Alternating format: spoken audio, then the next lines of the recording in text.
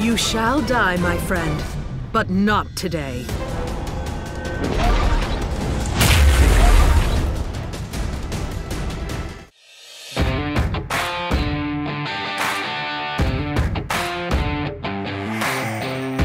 If you value your life, you will run.